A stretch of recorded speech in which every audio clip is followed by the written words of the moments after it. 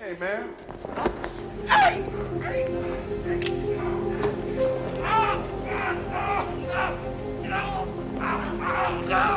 What is meant by the momentum of a story and how do we create it in our own tales? Let's get to it.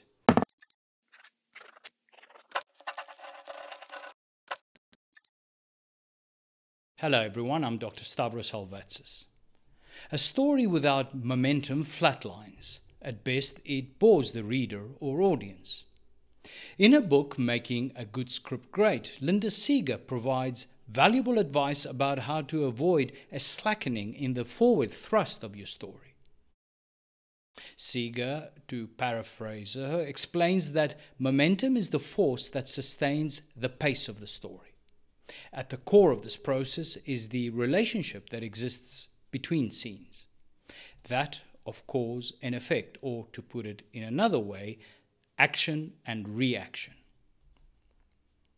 This does not apply to all scenes, of course. Some scenes are simply bridging interludes, such as crossing the road, or scenes that serve the subplot.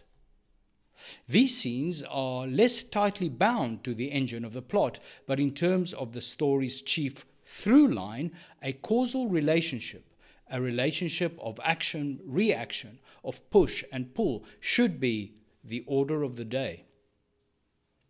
In Witness, the end of Act 2 provides a good example of momentum at work. First, an eyewitness to a murder, a young Amish boy, Samuel, identifies Officer McFee as the murderer to John Book. I want you to tell me everything you saw when you went in the bathroom. Um, there were two. Were two men? I only saw one.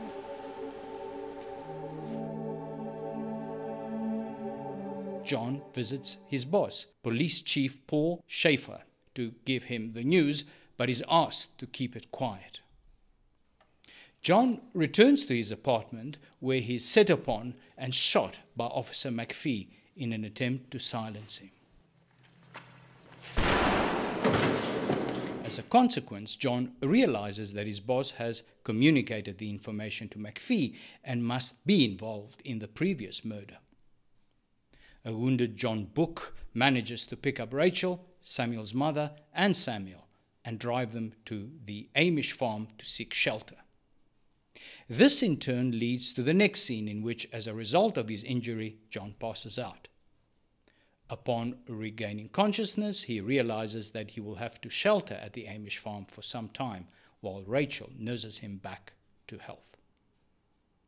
Notice how each scene is tightly bound to the next through causality, one event causing another, allowing no slackening in the tale. The result? Momentum is maintained throughout, drawing the audience into the story and keeping them there. To sum it all up, then, story momentum arises as a result of causally connected scenes propelling each other along the through line of the story. This preserves pace, maintains tension, and contributes to audience or reader involvement. If you enjoyed this video, consider subscribing, hitting the like button, and leaving a comment to share your thoughts and to help the channel grow. See you soon.